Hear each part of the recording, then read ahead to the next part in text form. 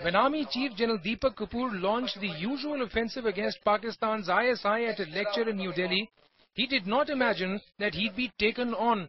The recent blasts at Kabul have very clearly indicated the hand of the ISI. Pakistan's defense attaché in New Delhi, Brigadier Mohammad Iqbal, openly dared Kapoor to substantiate his allegation against the ISI. It has been highlighted time and again that there are proof of ISI's involvement.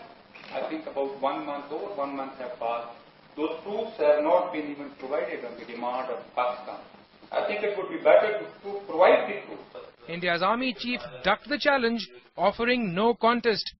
Not only was the Indian army chief left tongue-tied by the Pakistan defense attaché, he even bailed out the Pakistan army on repeated ceasefire violations, saying that this could be the result of a misunderstanding due to Indian firing on infiltrators.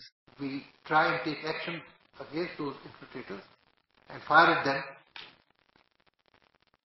That being misconstrued as a fire by the opposite side onto them is what can lead to a violation of a ceasefire.